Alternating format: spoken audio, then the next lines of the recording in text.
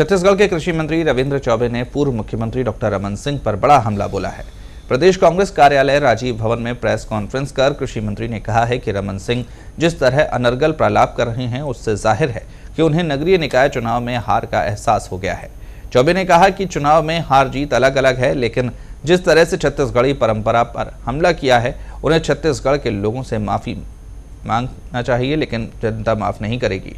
चौबे ने कहा कि छत्तीसगढ़ में सबसे बड़ा कोई झूठा है तो वो रमन सिंह है। चौबे ने बड़ा आरोप लगाते हुए कहा है कि रमन सिंह ने अपने कार्यकाल में प्रदेश की ज़मीन उद्योगपतियों को सौंप दी थी, जहाँ सालों तक उद्योग नहीं लगा। मुख्यमंत्री बनते ही भूपेश बघेल से उन ज़मीन को वापस लौटने का काम किया। पंद्रह साल तक झूठ, करप्शन, संपदा, ज़मीन लुटाने वाली सरकार को एक साल की हमारी उपलब्धि देखी नहीं जा रही है।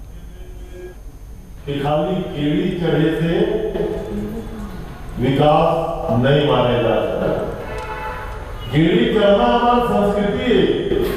लेकिन विकास कौन दिशा में करे, जगह दो तीन पहलू आपके सामने रमन सिंह के सरकार में छत्तीसगढ़ में ढाई लाख एकड़ ज़मीन किसान पूंजीपति और उद्योगपति वाला सौंप दिए गए डॉक्टर रमन सिंह जिला विकास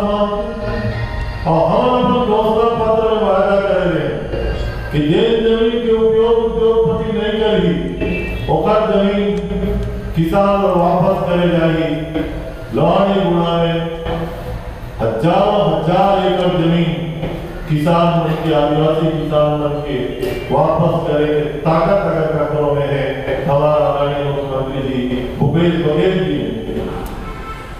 विकास की बात करते हैं धान तो पूरा प्रदेश के 80 प्रतिशत किसान उत्पादन करते लेकिन तेलू पत्ता ढाई हज़ार रुपया प्रति मानक बोरा से बढ़ा करके चार हज़ार रुपया प्रति मानक बोरा माननीय भूपेश बघेल जी की सरकार करे तेला विकास विकास के मतलब क्या हो? हम देखें एमपीडब्ल्यूडी में तो राजधानी के सारा पत्रकार यहाँ मौजूद हो। जेल सड़क राजधानी में बने जेल फ्लाईओवर राजधानी में बने, जेल ओवरब्रिज राजधानी में बने, जोन बाईपास राजधानी में बने। भारतीय जनता पार्टी के शासनकाल में एक भी सड़क बाईपास फ्लाईओवर ऐसे नहीं है जिन जाँच के दायरा में ना हो।